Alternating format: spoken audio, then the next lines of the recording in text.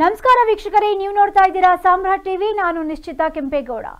ಬಾಂಗ್ಲಾದೇಶದಲ್ಲಿ ವಿದ್ಯಾರ್ಥಿಗಳ ನೇತೃತ್ವದ ಕ್ರಾಂತಿಯಿಂದ ಅಧಿಕಾರದಿಂದ ಕೆಳಗಿಳಿದ ನಂತರ ಆಗಸ್ಟ್ನಲ್ಲಿ ಭಾರತಕ್ಕೆ ಪಲಾಯನವಾಗಿದ್ದ ದೇಶಭ್ರಷ್ಟೆ ಮಾಜಿ ನಾಯಕಿ ಶೇಖ್ ಹಸೀನಾಗೆ ಬಾಂಗ್ಲಾದೇಶದ ನ್ಯಾಯಾಲಯವೊಂದು ಅಕ್ಟೋಬರ್ ಹದಿನೇಳರಂದು ಬಂಧನ ವಾರೆಂಟ್ಗೆ ಆದೇಶವನ್ನ ಕೊಟ್ಟಿದೆ.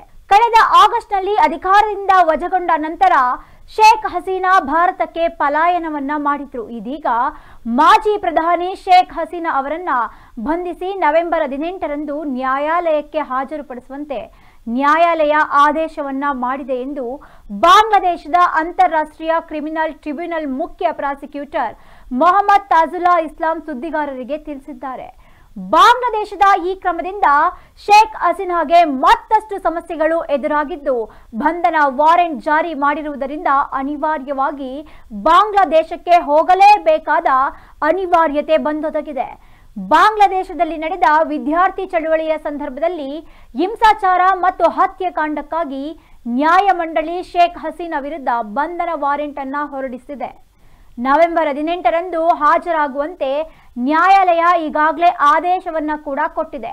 ಹಸೀನಾ ನೇತೃತ್ವದ ಅವಾಮಿ ಲೀಗ್ ಸರ್ಕಾರದ ವಿರುದ್ಧ ವಿದ್ಯಾರ್ಥಿಗಳ ಪ್ರತಿಭಟನೆಯ ಸಂದರ್ಭದಲ್ಲಿ ಹತ್ಯೆಗಳಲ್ಲಿ ಭಾಗಿಯಾಗಿರುವಂತಹ ಇತರ ಐವತ್ತು ಜನರಿಗೆ ಸಹ ಬಂಧನ ವಾರೆಂಟ್ಗಳನ್ನು ನೀಡಿ ಪ್ರಾಸಿಕ್ಯೂಷನ್ ಸೂಚನೆಯನ್ನ ಕೊಟ್ಟಿದೆ. ದೇಶಭ್ರಷ್ಟ ನಾಯಕಿ ಮತ್ತು ಅವರ ಆವಾಮಿ ಲೀಗ್ ಸಹಚಾರರ ವಿರುದ್ಧ ಬಲವಂತದ ನಾಪತ್ತೆ ಕೊಲೆ ಮತ್ತು ಸಾಮೂಹಿಕ ಹತ್ಯೆಗಳ ಅರವತ್ತು ದೂರುಗಳನ್ನ ನ್ಯಾಯಮಂಡಳಿ ಇದುವರೆಗೆ ಸ್ವೀಕರಿಸಿದೆ. ಅಂತಾರಾಷ್ಟ್ರೀಯ ಅಪರಾಧಗಳ ನ್ಯಾಯಮಂಡಳಿಯ ಅಧ್ಯಕ್ಷೆ ನ್ಯಾಯಮೂರ್ತಿ ಮೊಹಮ್ಮದ್ ಗುಲಾಂ ಮುರ್ತುಜಾ ಮುಜುಂದಾರ್ ಅವರು ನ್ಯಾಯಾಧಿಕರಣದ ವಿಚಾರಣೆಯನ್ನ ಪ್ರಾರಂಭ ಮಾಡಿದ್ದಾರೆ. ಮೊದಲ ದಿನ ಪ್ರಾಸಿಕ್ಯೂಷನ್ ತಂಡವು ಮಾಜಿ ಪ್ರಧಾನಿ ಶೇಖ್ ಹಸೀನಾ ಮತ್ತು ಇತರ ಐವತ್ತು ಜನರ ವಿರುದ್ಧ ಬಂಧನ ವಾರೆಂಟ್ಗೆ ಒತ್ತಾಯವನ್ನ ಮಾಡಿದ್ದಾರೆ.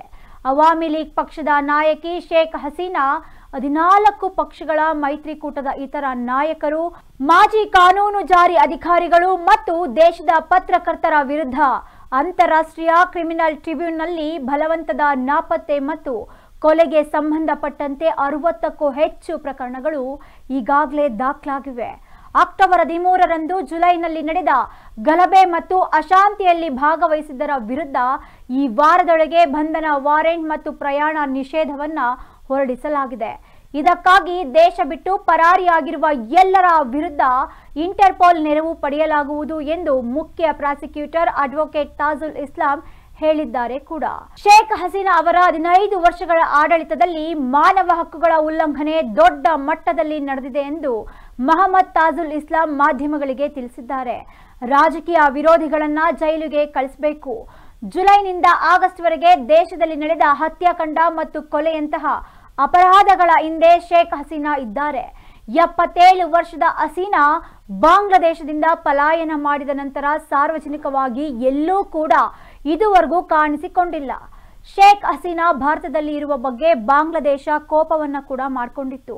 ಈ ಕಾರಣಕ್ಕಾಗಿ ಹಸೀನಾ ಅವರ ರಾಜತಾಂತ್ರಿಕ ಪಾಸ್ಪೋರ್ಟ್ ಅನ್ನ ರದ್ದುಗೊಳಿಸಲಾಗಿದೆ.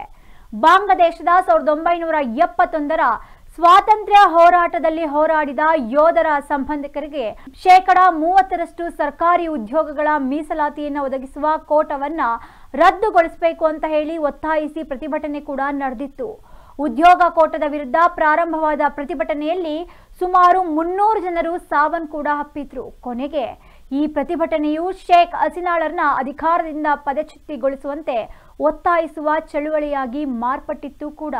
ಹಸೀನಾ ವಿರುದ್ಧ ಬಂಧನ ವಾರೆಂಟ್ ಜಾರಿಯಾಗಿರೋದ್ರಿಂದ ಅವರನ್ನ ಹಸ್ತಾಂತರಿಸುವಂತೆ ಭಾರತ ಸರ್ಕಾರಕ್ಕೆ ಮನವಿ ಮಾಡುವ ಅವಕಾಶ ಬಾಂಗ್ಲಾದೇಶದ ಮಧ್ಯಂತರ ಸರ್ಕಾರಕ್ಕೆ ಸಿಕ್ಕಂತಾಗಿದೆ. ಹಸೀನಾ ಅವರು ಆಗಸ್ಟ್ ಐದರಂದು ದೇಶದ ಭಾರತಕ್ಕೆ ಬಂದಿದ್ರು. ಹಸೀನಾ ಒಳಗೊಂಡಂತೆ ಪರಾರಿಯಾಗಿರುವ ಇತರರನ್ನ ಮರಳಿ ಕರೆತರಲು ಇಂಟರ್ಪೋಲ್ನಲ್ಲಿ ಕೋರಲಾಗುವುದು ಎಂದು ತಾಜಲ್ ಇಸ್ಲಾಂ ಹೇಳಿಕೆಯನ್ನು ಕೂಡ ಕೊಟ್ಟಿದ್ದಾರೆ.